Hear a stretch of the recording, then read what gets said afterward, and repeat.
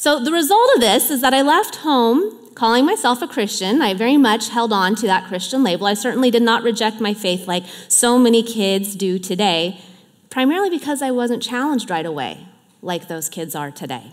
I'm pretty sure my outcome would have been different if I had been.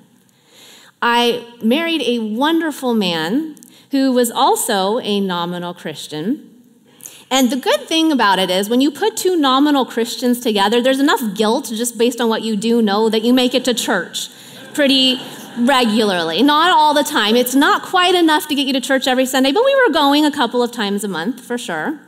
And so we picked a local church and knew nothing about selecting a church. So we just went to the local one that was closest to us. We had no idea that it was very theologically liberal. And after going there for a while, we were there one Easter Sunday. And it was in that church on that day that my first quiet crisis began the pastor said something that pierced through my complacency. I was probably just thinking about lunch at that point, but all of a sudden my ears perked up. And here's what he said It doesn't really matter if Jesus rose from the dead. What matters is that he lives on in our hearts so that we can now make the world a better place. Now,